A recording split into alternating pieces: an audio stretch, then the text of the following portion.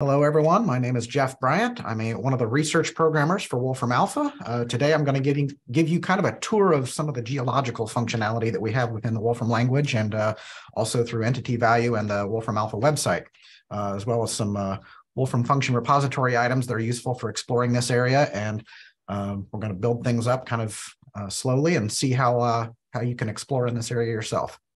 So first thing I'm going to do, I'm going to share my screen here. So here you can see I've got just a plain white notebook here. So I'm starting out. Um, one of the primary pieces that we're going to be discussing is all, you know, it's kind of the, the keel of everything is uh, the entity domain geological period.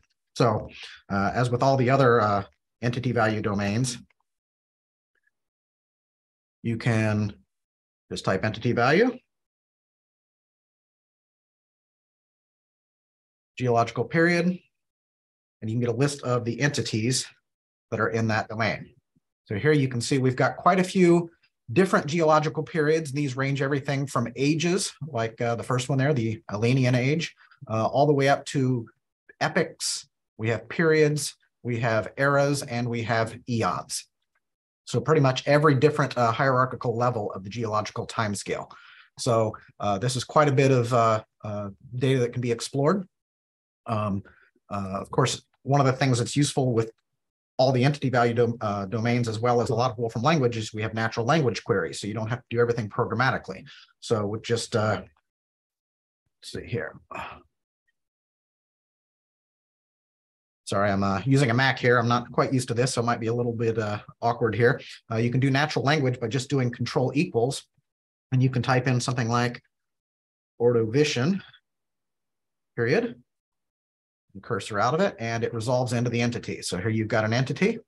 And one of the things you can ask for, for example, is the time range for that. And you can see the time, time range over which the Ordovician period was valid. And um, we've got a number of different properties within this domain. So you can see we've got um, bedrock polygon. That's an important that I will be showing here in just a little bit. Uh, we've got a number of biological events that happen. So for example, if I just copy that, paste it down there. Oops. Once again, that's a Macism I'm not used to yet. I've got to get used to that. It's command on a Mac.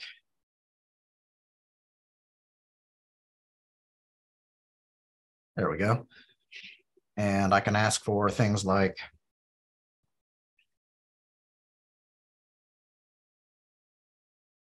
biological events. And you can see a number of things that happened during the Ordovician period. So uh, you had the extinction event, uh, the Cambrian Ordovician extinction event at the start. So that uh, bounded between, um, you've all probably heard of the Cambrian explosion, so the period where that happened. And then at the end of that period, you had this extinction event that led into the Ordovician period. Uh, you had the first appearance of vertebrates. Uh, you had coral reefs, great diversity of trilobites, mollusks, echinoderms. So a lot of uh, radiation of a lot of the um, uh, organisms that we know of today and some that have gone extinct. Uh, the very first earliest appearance of land plants happened during the Ordovician, very primitive plants, but plants nonetheless. And then at the very end, you had another mass extinction. You had the Ordovician Silurian extinction event. So this is just one of the properties. We've got geological events. Um, you can navigate and walk the tree. So we have properties like the, the, you know, the previous period. We've got the next period. Um, we've even got uh, data on uh, changes in sea level, atmospheric oxygen, that kind of stuff. So quite a bit of data that you can explore here. Um, but one of the things that I wanted to focus on is, first of all, I should point this out. This is the documentation center. So you can see reference.wolfram.com. And I've focused here on the entity type um, documentation for the geological period. So this kind of gives you a good overview of all the different properties entities. It's very similar to all the other entity value domains. So um, um, all the properties are listed here with short descriptions and then details, uh, all the things that you can dig in and ask for for the individual entities. This is all just you know preliminary information before I get into the meat, meat of the presentation, but it's kind of the backbone of everything. So uh, this is how we started everything. I should mention a little bit about my background. Um, uh, when I was in college, of course, the movie Jurassic Park came out, and so everybody got very excited about uh, dinosaurs. If you weren't already, uh, you know, a lot of us are, you know, have fun with dinosaurs as kids. But um, I was at a lucky time in my life. Uh, Jurassic Park came out when I was in college, and that actually uh, started off uh, an experimental class at my college, Ball State University in Indiana, and they actually had an experimental dinosaur class, uh, basically in the spirit of the movie coming out, and that's how popular it was. And uh, I actually got really interested in uh, just fossils in general. Now, Indiana, where I was from, did not have dinosaur fossils. Uh, it's rare that you can find any place that has public access to dinosaur fossils anyway. But in Southeast Indiana, they did actually have quite a bit of fossil bearing limestones in the southeast part of the state uh, and the South in general. And so first as part of the geology classes that I was taking, um, and also just as a hobby, I would actually drive down to Southeast Indiana, not far from Cincinnati, about 30 miles away, and we would actually go through um, road cuts uh, just pull off on the shoulders, really wide shoulders, public. You're allowed to pick anything you find on the surface. And uh, I got extremely interested in fossil hunting. I actually have my own fossil collection. So I started learning a lot about the local rock layers um, that, were, that were in there, their age, things like that. And uh, it's been kind of a, an interesting hobby ever since. Every now and then, uh, if I get a chance, I drive back to Indiana to the same fossil beds and I find them. And the reason I chose Ordovician period here is because the fossils that I found were from that time period. These are about 450 million year old fossils that I found. So that's how I got interested in this. Now, jumpstart years later, um, here I am at Wolfram Research working in uh, uh, Wolfram Alpha content, primarily in astronomy. But um, uh, as ge uh, geographics came about, uh, we wanted to be able to um, overlay data on top of geographics. And since I had a background in geology, or at least an interest in it, uh, it became natural for me to explore that area and see if I could provide something that we could use there. So one of the first things that we did was we actually came up with a property that you can see here called continental plates. And so one of the things we can do here is, once again, I'm going to take the Ordovician period and we're going to ask for continental plates. By itself, this isn't particularly all that interesting, other than what you get back is an association. And the association here is it's almost like a time series. We've got snapshots throughout the Ordovician period, and we have polygon sets or sets of polygons for each snapshot. So here you can see 445 million years ago, we've got a set of polygons. We scroll down further. You can see we have another snapshot at 460 million years ago and so on. So um, what you can do is you can ask for any one of these. Let's just choose this one because it's an association. You can just paste that in and you get the one set for that time period. And then we can surround this in geographics.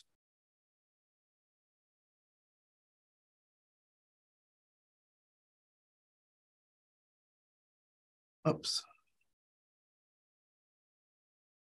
And we'll just start here. This is, we're not done here yet, but this is kind of the beginning and how you would get started. So it shows how you can kind of build things up using the elements that are available here. So by default in geographics, you get the current background, which obviously doesn't make sense. We want to see the continental plates for the Ordovician period. So one of the first things we want to do is we want to turn off the default background.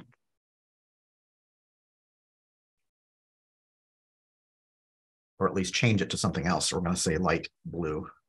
So instead of seeing the current continental plates, we want to see just the old ones. And of course, you can uh, start littering this with all kinds of styles.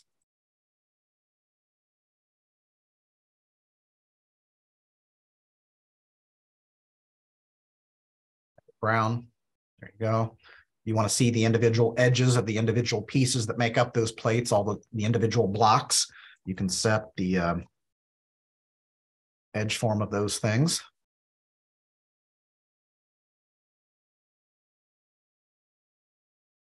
So there you can see the individual things. So um, just so you know, just so you can orient yourself here, um, uh, what we've got here is um, kind of two primary areas. You've got basically this big giant area down here in the southern hemisphere called Gondwana. And then up here, you've got, this is what's called Laurentia. This is essentially ancient North America. You can see at the time Greenland was still attached. It's right here. Um, uh, and then there's actually, um, you've got let's see, I think, I'm trying to remember some of these blocks, I don't recognize them from their shapes right now. You've got things like Baltica, which is essentially a modern day uh, the Baltic states. and Siberica, things like that up here. South America, Africa, that's all down here. It's all down. So the world was quite different. You can see North America was essentially at the equator or slightly below, and it's rotated. So the modern day East Coast is actually right, right here. So here's kind of proto-Mexico and that kind of areas back in here. Um, so this is essentially what the Earth looked like back during then, uh, during the Ordovician period. So um, I'm just going to add a little bit more here, and uh, then we'll uh, move on a little bit here.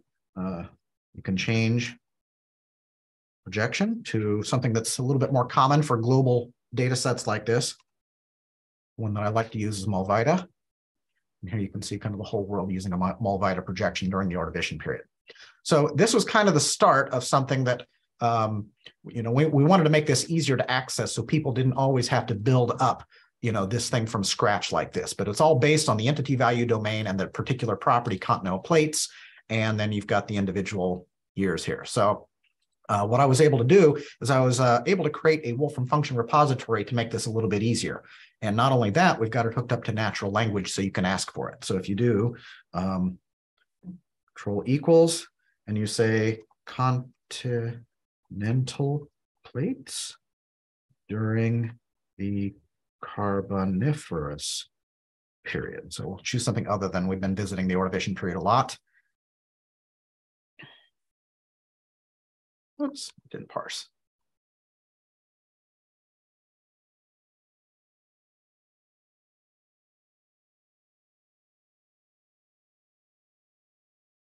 Like we might having having some uh, server side issues here. There we go. Well, that parses to the property anyway. So um, so that's that's a natural language way that you can actually get to the plates properties just by asking directly for the continental plates, and you can see it resolved here to that. Um, we'll do a different query here. And here you can see. Um, somebody's asking, uh, I'm noticing uh, Sander uh, is asking, can we use timeline plot on this? Um, I'll have to experiment with that. I don't know if timeline plot supports date this. Uh, I can try that here in a second, actually. Uh, we'll, we'll, give that a shot. Um, I don't know that it'll handle the entity directly, but we can play with that. I have to admit, I don't use timeline plot a lot. I think its usual focus is for more modern dates and things like that, but um, um, you can probably set up a structure you could feed to timeline plot and it should work. Um, so here we can say map of the Carboniferous period.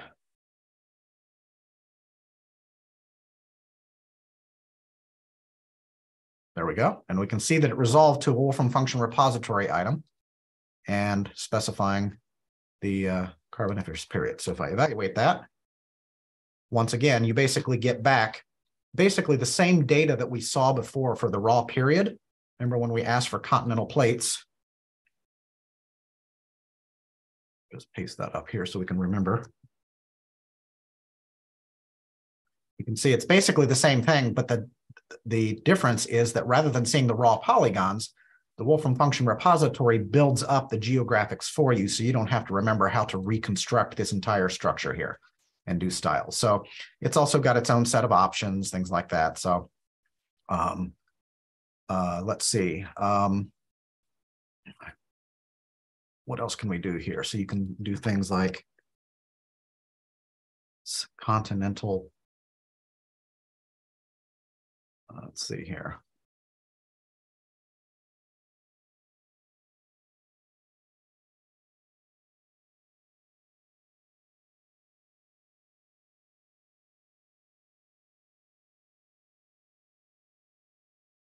Oops, I missed the option here. So one thing we can do, you go to the Wolfram function repository. Let's just go there.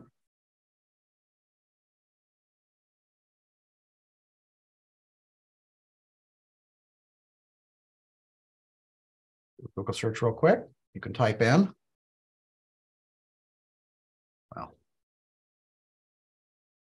we've actually got a few. Um, let me do a more general search here. We'll come back to this later. So you can see other things that we've got here, but you can see we've got a number of things if you just do a search for geology. And the one thing we want to look at here is continental plates. So here you can see the, the default argument gives you the, the current continental plate arrangement. You can feed in an entity as we did over here.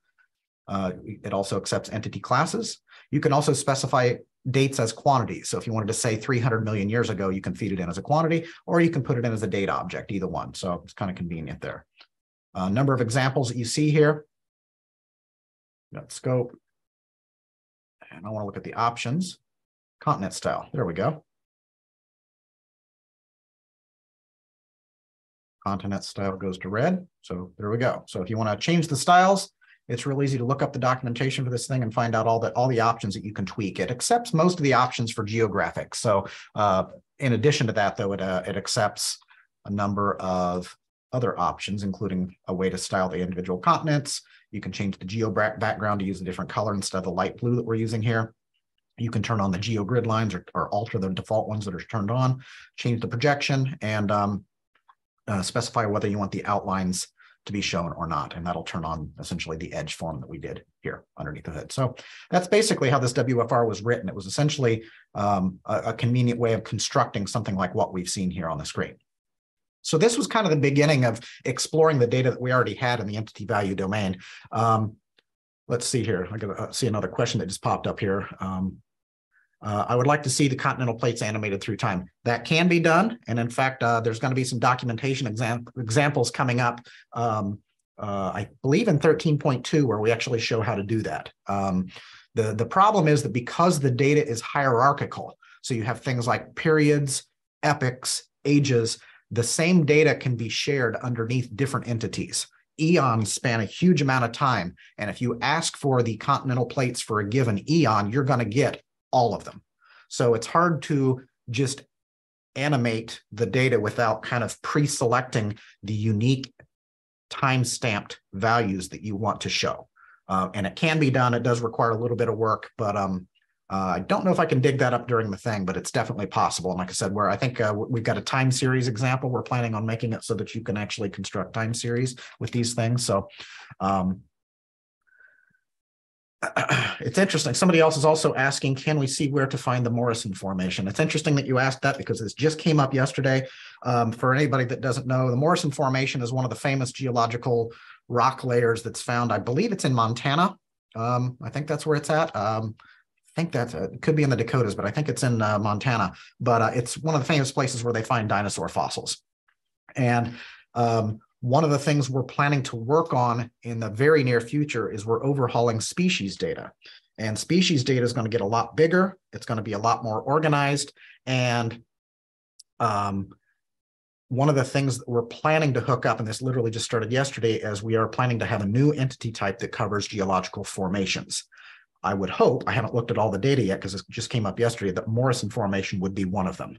And the idea is we could at least give you a rectangular boundary showing where outcrops of the Morrison Formation are found.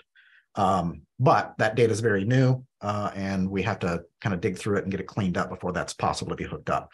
Uh, somebody's also asking if you can track the location of a point tied to the surface of a continental plate over time. Unfortunately, we cannot. The data source that we have um, uh, gave us basically just snapshots of the world in time, and the individual plates some of them come and go. I mean, you can have new plates that form and others get subducted and disappear. And so over time, the same plates may exist or not exist.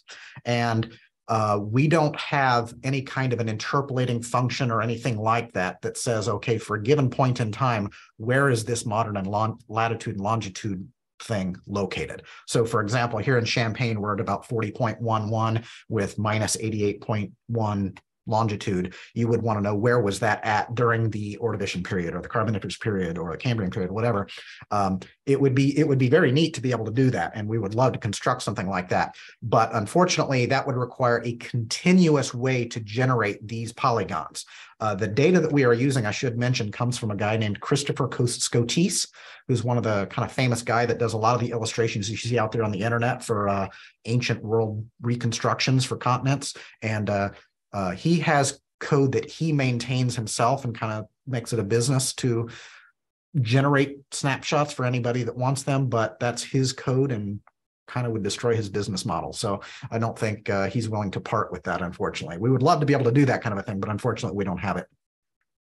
Uh, so anyway, so let's uh, go back to exploring some more stuff here. So we were talking about the continental plate maps uh, uh, Wolfram function repository item here. So um, that's kind of a good overview of what that can do. Uh, one of the other things that we wanted to do was construct a um, um, time chart that kind of allows you to get context. You may be familiar with certain names like Jurassic period, things like that, uh, but you want to know where is that at with respect to sub periods and um, the eons and eras that contain them. So uh, we have a, a, resource resource function. We're still in the, in the, process of hooking natural language up to it, so it's not quite on production yet. But um, so for now, I'll do this uh, by hand. So you can see there's uh, autocomplete. So you can see geo geological period chronology chart. That's the one I'm going to go to next. And you can put in, let's see here, Jurassic period, for example. And we're going to go down two levels. And here you get a time chart. And you can see highlighted in red here is the Jurassic period. You can see a time scale here on the right-hand side. It, um, it includes the parent division, so it's part of the Mesozoic era. It's followed by the Cretaceous period and preceded by the Triassic, and it's broken up into the early, middle, and late Jurassic epochs. Uh, you can also try to go down an additional level. So if I go down three levels, the two refers to the, the level itself and how far down you want to go, but it also includes the parent. And here you can see it's broken up into a number of ages as well. So this allows you to kind of walk the time tree. so um, anyway, let's see here. Um, can we find a list of dinosaurs on a specific period? Uh, somebody's asking that question. So yes, that is something that we can do. There is a property, if you look up here in the properties that we looked at, um, this is actually a property for the whole domain, um, but let's see here. Uh, dinosaur families. So keep in mind that when, when you think of dinosaurs, most people think of Stegosaurus or Triceratops or something like that. These creatures only lived during a very particular time in the geological history, only during the Mesozoic era. And as a result, you're only going to get data for those. Let's see. See, let's do a, a test of that real quick. Let's see here. Equals. Let's see. Let's go ahead and do Cretaceous. And we're going to ask for dinosaur families. And what you'll get back are a list of the families of dinosaurs that lived during that time period. And then this, this dives into dinosaur data and allows you to kind of navigate through that. So you could then ask for the properties of the individual dinosaurs and things like that. Uh, keep in mind that things like Tyrannosaurus, that's an entire genus. And um, and you can see here that these are the families. These are not the individually, the individual species. So Tyrannosaurus is a genus, Tyrannosaurus rex is a species. There are other Tyrannosaurs as well. So um, we're hoping to have a lot more dinosaur information in the overhaul of species data. Um, so more, more will be uh, presented on that at a later date once we have that data, but it's not ready yet. Okay, so um, yes, we do have some temperature data. Um, let me do a quick query real quick just so that you can see. So another thing that we should explore is not just the data that we have an entity value, but uh, let's see, here's control T, it's command T. There we go. And I'm going to go to the Wolfram Alpha website. So if you go to Wolfram Alpha, you can kind of get a good overview of the data that we have for these things here. So let's try Triassic. Type in Triassic, auto completes Triassic period there. You can see the time range. Uh, you can see the eon era, all the subdivisions, all that kind of stuff, kind of the hierarchy. Um, and you can see all the individual property values that we have for these types of things, including the notable dinosaur families, biological events. You can see some of the maps that we've done here, kind of a uh, almost ge uh, geographics-like thing. And down here, if you scroll down, you can see things like the sea level and how it was how it changed the biodiversity, atmospheric oxygen, and carbon dioxide. Some of this gets very controversial because there are different models that they follow when they're actually diving into this kind of data. And uh, depending on the source they use to derive their information, you get different answers to that question. So things like carbon dioxide and oxygen are, you know, kind of tied to the global, global climatology and things like that. People get very interested in that, but actually, depending on the data that you look at, you get different answers. So, um, and some periods have wider variance than others concerning how how uh, how warm it was, how uh, how much carbon dioxide there was. So, uh, this is the data that we've got, but yes, there is data here. So, um, no, we don't have anything about evolution data. Uh, and yes, we do have some some images for dinosaurs, uh, I believe. So you type in Triceratops on alpha, you can see we at least have some images. Um, these are basically Wikipedia style images, so you get little thumbnails, things like that. So um, anyway, so that's what we've got on dinosaurs. But we want to focus more on the geology rather than dinosaurs themselves. Uh, like I said, dinosaurs only cover a very small uh, percentage of the entire geological period. It's just the one that most people get introduced to that kind of gets them interested in fossils, but uh, fossils span a much larger time frame. Anyway, so we've got the uh, geological uh, chronology chart. This allows you to kind of get a good overview of um, uh, time, uh, the, the individual time elements and uh, how they relate to each other. So you can see the Mesozoic here. Um, so We've got that. Uh, I should mention that if you're interested, a lot of times when I create some of these WFRs, I actually post a lot on the community website. So if you ever go to the um, um, Wolfram community website and search for geology, you can turn some of these things up. So this is another place you can go for more examples, things like this that uh, are related to geology and just search for it and uh, you'll find some of these things. And you can see essentially this is an entire community post on how we construct or how I constructed the uh, chronology chart that you see here. It starts off with just navigating these things using trees. Um, and if you go all the way down to the bottom, you can see how we kind of collapse it so you lose the edges, different layouts of these trees. Here's, here's a version that's getting closer to what we have, but it still has the giant uh, edges from the, the tree uh, structure. And then at the bottom, we show how to take that and collapse it down so all you see essentially are the nodes. And so this is essentially what became what ended up becoming the Wolfram function repository item. So it shows how it was built up. So if you're interested in that, uh, be sure to check out the uh, community. Um, the next thing I do want to explore, though, we've actually got another one. This is this is much more recent, and uh, I find it much more interesting personally. Um, is another resource function this one does have natural language. You can say relief map of Permian bedrock. Here you can see we get a geographics expression that actually represents this data. And so here you can see the data that we've got is basically North America um, and parts of Central America, and that includes the ocean beds uh, surrounding it.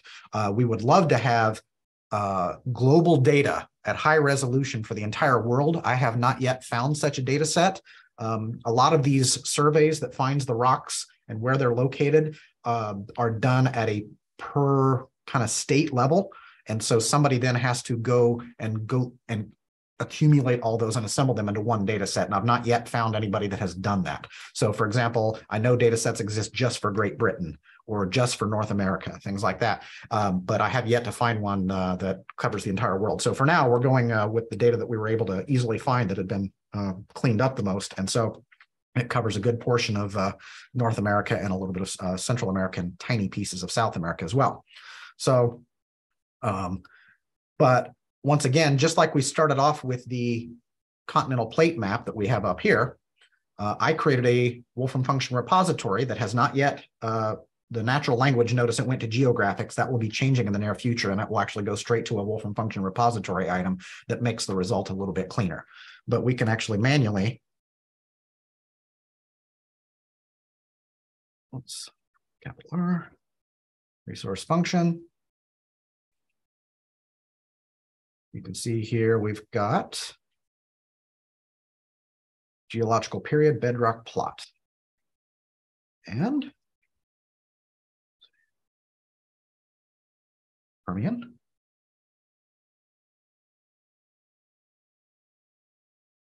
This is much shorter syntax uh, than what we saw up above, but it's basically the same thing. It's under underneath the hood. That's what this uh, Wolfram function repository item is doing. It's just built up from geographics.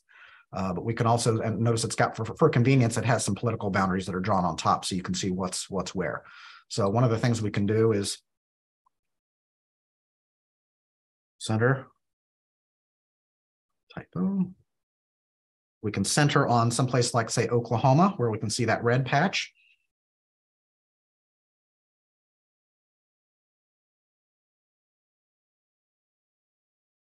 And let's zoom in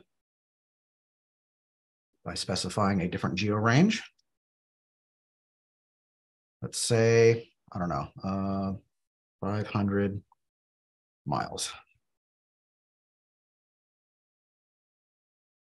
So here we've zoomed into that area that we saw in the bigger map and we can kind of see where the Permian rock is found. So um, so for, for those of you that may not know, when you're talking about bedrock, you're basically saying in a given area, strip away all the topsoil until you find that first top level of bedrock. How old is that rock in those various locations? And so you can see here that if you're looking for where is the Permian rock um, found, you can see it's uh, you can find it throughout the Rockies and some very spotty spots here throughout the mountains, and then down into um, New Mexico and a big swath though up from Texas through through here. And so, if you were really interested in finding fossils of say Permian age life forms or something like that, or you, just wanted to do the geology itself, you could actually go to these areas and look for rock outcrops, and that's where you would find Permian age rocks. And um, this is just one simple example here, but I actually have a fairly recent um, uh, community post that you can see here, G Bedrock Geology of North and Central America. And you can see here the kind of the hero image for this entire plot um, kind of includes all of the data. It's all color coded. There's no legend in this particular image, but there is a legend further down. If you want to turn that on, it's one of the features of this uh, WFR that a legend can be generated. So you can see which color represents what.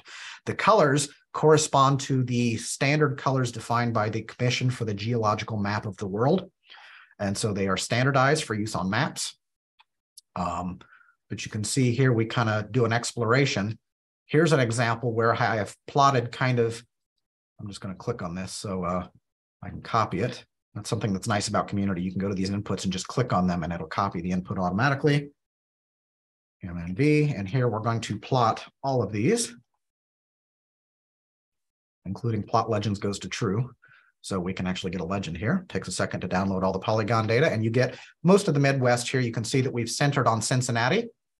So down, right down in here, this is where Cincinnati, Ohio is and you can see all the various rock ages color coded. So the Ordovician period, Silurian, Devonian, it even includes Illinois over here. So you can see Illinois has this light blue color over here, which corresponds mostly to this uh, Pennsylvanian age. So we're into the Carbonate. So you find a lot of coal beds and stuff like this. The Mississippian and Pennsylvanian were laid down during a time of, uh, those are epochs. They were laid down during the Carboniferous period because there were huge coal swamps, swamps that when those plants died, they got buried. There was lack of oxygen in the water, so they basically didn't decay. They turned into coal. And uh, to this day, and you can see it also over here in uh, like West Virginia, things like that, they did a lot of coal mining in these areas from uh, all that carboniferous uh, swampland that turned into coal.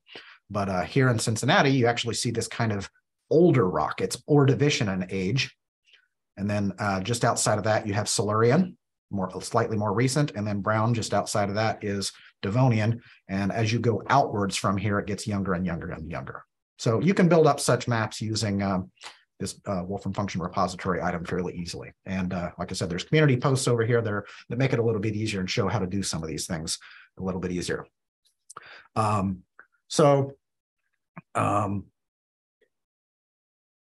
somebody's asking how reliable is the data, such as what happens if someone entered one of the dates wrong when typing it in? Do you mean um, you mean the people that provided the data, or do you mean users that use this functionality? I'm not sure what you mean by if somebody entered the date wrong. Um, so these are these come from basically the United States Geological Survey. So it's all been outsourced. It's about the, as most reliable as you can get. So um, you're probably not going to find data much better than this. Um, but like I said, there could be global data that comes online some point. Uh, it would have to be evaluated at the time we get it, but at least this data should be pretty reliable. Um, and uh, people say, you know, somebody's also asking, is this where you would drill for oil and do fracking? I assume that's what you're referring to is this kind of stuff in here. Um, it depends. I actually am not a professional geologist and I definitely don't know oil drilling. So I do know that there are certain geological structures, salt domes, things like that, that they can look for that can often hint at the presence of possible oil, in which case they will do that. But I don't want to say too much more on that because I don't actually know all the details of how they find good drilling sites. And I don't think, I mean, carboniferous stuff is mainly for coal I don't doubt maybe some oil comes from there as well. I'm not sure that a lot of the oil the oil reserves come from those places. Um, I'm not. It could be carboniferous in age, but like I said, I don't want to delve too much into that because I'm I'm not an oil person, so I don't know. But um, definitely uh, the coal. I know I know that the reason for the coal is that I'm not so sure about the oil though. Anyway, uh, let's see. So here, since I'm since I'm here anyway on this community post, you can see one of the sites. Um, in this Cincinnati, Ohio area, this is where I used to go fossil hunting down here in Southeast Indiana, right, right before you get into Ohio. You can see the road cuts that you see here. Um, kind of a highly inclined uh, road here with a really wide pull off, a shoulder that you can park on, and you're allowed to surface collect. Uh, just bring a bag. Uh, fossils are literally falling out of the ground. The age of these rocks in this particular area are Ordovician, so they're about 450 million years old. Um, so that predates fish. You're not going to find fish fossils here. You're going to find things that look like seashells. So they're called brachiopods. You'll find echinoderms. So rarely you'll find things like starfish, but not too often you'll find uh, sea lilies, which actually live today, at least a version of them do, in very deep water. Um, corals, snail shells, um, even giant uh, you had uh, back then you had uh, straight shelled nautiloids basically uh, big big giant squid relatives with big giant straight coned he helmets on them and you'll actually, I've actually found several uh, fragments of those where you can see the individual cells inside there that are uh, uh, preserved. And so it's a great place to go if you're looking to place to take your kids because it doesn't cost anything. If you're willing to drive to Southeast Indiana or even on the Ohio or Kentucky side there, it's a great place to find fossils. Just don't bring a shovel because if the police drive through, then they see you doing that, uh, you will get in trouble. Uh, they don't want you destabilizing these rock cuts. Uh, dinosaur fossils, I doubt that you're ever going to find anything like this there because those are highly prized, and I think most of those areas are protected. So uh, keep that in mind. Here's some uh, fossils that I have found in that area, though. Um, so you can see this is a, a brachiopod. This is kind of like a, we'll, we'll, call it a seashell. Uh, it's not quite. Uh, here's another one here. Um, you can see a trilobite that I found here. It's all curled up, so its tail meets its face. You can see a couple little eye stalks here. Uh, this picture, I don't know how well it comes through on the Zoom, but you can see there's uh, there's some divisions here. This is actually a portion of one of those filled in nautiloid shells. So you can see the individual chambers from its uh, shell that was on its head. Uh, these are stems from some of those sea lilies. Um, this is called a bryozoan, so it's kind of a uh, microscopic organism, that a colonial uh, reef building type organism. Uh, if you look up close with this, you'll actually see tiny little holes where the animals lived. Horn corals, uh, Tentaculites, this is another uh, creature from that time period. And you can see here's a snail shell that I found. And these are all 450 million years old and literally were just found on the surface or required nothing more than just prying it out with a spoon. Um, and once again, I kind of explore, you know, what did the world look like at that time? And it combines the use of things we've already seen, these time charts, where the bedrock's found for various time periods. And uh, so these are some of the tools that we've got. Um, we're hoping to have more. Like I said, one of the things we just started looking at literally yesterday was a uh, possibility of adding a new entity type that covers the individual rock formations. So rather than what is the bedrock age, which is what this shows, you know, this shows where bedrock of that age can be found. In this case, it's the Archean eon. So this is extremely old, 3 billion year old rock. You can find that up here in Canada. Um, that's kind of the core of North America, the really stable part. Um, the formations are the individual, like if you're a fossil hunter and you actually go there and you're looking at the individual bedding planes, like what we saw in this picture here. You know, this is actually called the, I believe it's the rich. Um, there's various formations in the area. One of them, one of them is the Richmond Formation, there's also the Whitewater, the Saluda, and several others in this area. I don't remember off the top of my head. I think there's one called the Liberty Formation. And depending on which level you're at, you're in different formations. And so the older stuff is going to be at the bottom, newer stuff is up at the top, but it's all basically all around 450 million years throughout the entire area of Southeast Indiana and uh, Ohio and Kentucky, that area there. So Um, anyway, this is kind of a good overview of the material that we've got. Um, you can branch out from this a little bit. I have another, it's a slightly older one uh, about rifting and other geology uh, related things. It does show the, um, it kind of shows how continents over time come together, then they rift and separate. It shows how you can kind of explore that. Uh, it shows how I was able to manually apply styles to individual plates. Um, unfortunately, it's not as easy as I would like. I had I had to manually refer to parts like uh, part 77 I knew was West Africa. And so it requires some investigation, but you can kind of use this as a guide for how, uh, how I did that. It'd be nice if we had some way of annotating these and maybe eventually we'll do that. Um, but the individual plates uh, have different names through time. So Laurentia was one of the more stable blocks. It was pretty much called Laurentia throughout most of geologic history, but um, other things like Africa at various times, especially China, was made up of individual blocks that eventually came together and became what we call China today. So it's hard to use modern names with some of these ancient things because they weren't always one piece back then. And so um, it, it, becomes a little bit of an artwork to, tr to try to reconstruct and name these things, uh, especially since they change over time. But um, once again, just go to the community website. You can search for geology and you'll find all these things, including here's a, an example where I've imported some data from the USGS, uh, United States Geological Survey, about magnetic maps that were done through the Midwest. And you can see um, one of the things that it finds here is this giant ribbon that kind of goes all the way from uh, Lake Superior down through Minnesota, all the way down through Iowa and into um, Nebraska. And um, another one down here. And uh, I talk a little bit about rifting that tried to happen 1.1 billion years ago that almost ripped North America apart, but failed. And uh, you can see other failed rifts throughout here. So these are all re related to geology and show different ways that you can explore uh, geological type data within the Wolfram language. Uh, some of them require you import third-party data. They're not necessarily provided with the product, but uh, I provide links for where you can get that data and explore it yourself. So I encourage everybody to uh, kind of take a look at these examples, show how it was done, and um, play around with it yourself.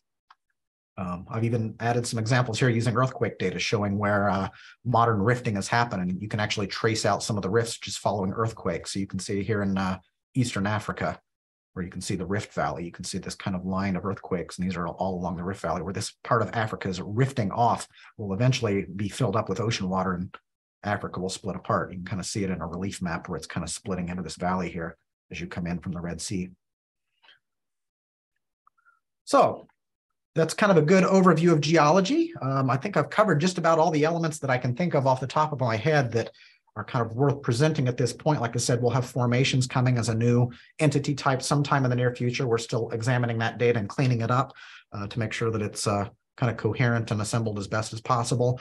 Um, we're also interested in any other data sets. If anybody knows of some useful data sets that could uh, help fill out this area a little bit more, um, especially, like I said, I would love to have a global data set for some of this, like the data that we show here in, in North America. I uh, would love to have global uh, polygon type data for where do you find rocks of a given age, say in India or in Russia or you know in Germany. Um, I would love to have that kind of data. I just haven't yet found a global data set that's reliable for doing that. Um, that doesn't require manually piecing it together. So any feedback you guys can give us on that, that's great.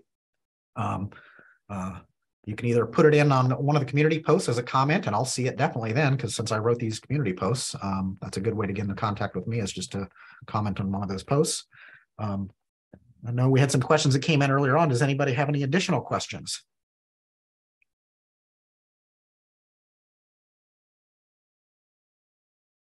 Actually, I do want to try something real quick. Since somebody asked earlier, uh, let's see here.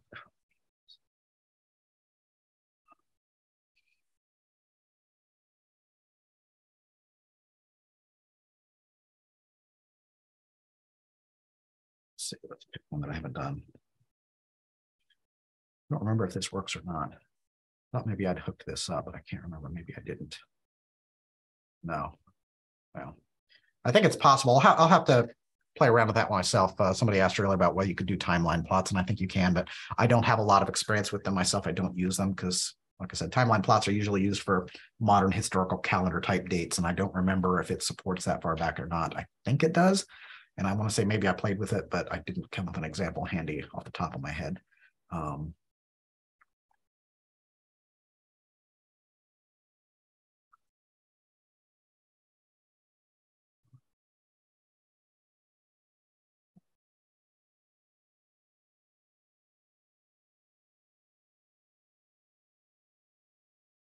Get one more thing here.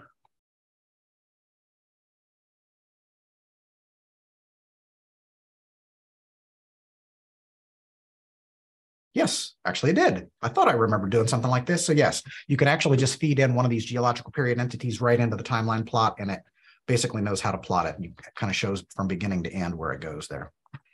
So, yep. Um, earthquake data just literally has earthquake, I'm sorry, it has data on earthquakes, both current and historical ones. It does not necessarily have data on faults. So you can see them by plotting all of the earthquakes over time. Um, so let's, uh, let's see here. Let's go back to here. And this is the Wolfram, uh, you know, reference.wolfram.com, and you can search for earthquake data. And this kind of gives you a good overview of how to access the uh, and explore explore the data. Let's see if they've already got some examples here. Well, here you can see somebody's already plotted all the earthquakes inside California and they even plotted the depth. So I think you can probably use the examples that are in the earthquake data documentation to kind of at least see where the fault is by looking for the earthquakes, because that's honestly how they know where any fault is. They don't know about faults if they never see earthquakes on them. There could be, you know, here in the Midwest, for example, it's not as well known as it is out uh, on the um, uh, on the West Coast because they have so many earthquakes out there. They can use those for mapping here in the Midwest, earthquakes don't happen as much. And so they know certain sensitive areas, like, of course, people that are into geology have probably heard of the, um, um, the New Madrid seismic zone. So they've been able to map uh, uh for the tiny earthquakes that happen, uh, you know, near St. Louis um, and, and south south of there, uh, you, you, find the New Madrid area that's fairly active, although typically with very small earthquakes. But in 1811, there were huge earthquakes, like probably 8.0 on the on the Richter scale. But the problem is that because earthquakes are so less common in that area, they haven't mapped out all of the individual faults in that area. They only know some of them. So there could be faults underneath you that are ancient and because they're no longer active today, we don't know about them because an earthquake has never happened on them. Earthquakes only happen for the most part uh, um, at, at, fault areas. So you can have an ancient 300 million year old fault that's buried underneath you, but if there's no active earthquakes going on, nobody would ever know that it's there because no, that's that's what they use to detect those things. So, all right. Any other questions?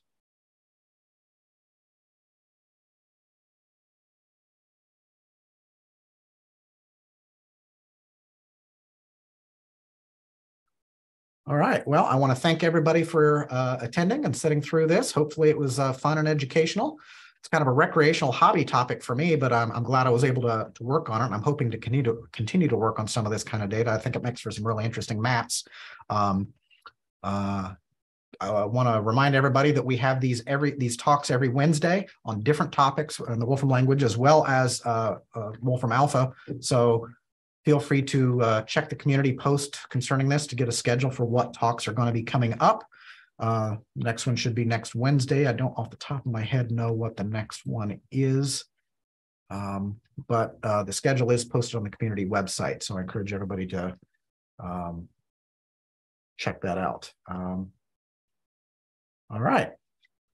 Uh, uh, that'll be it. And I thank you all for attending.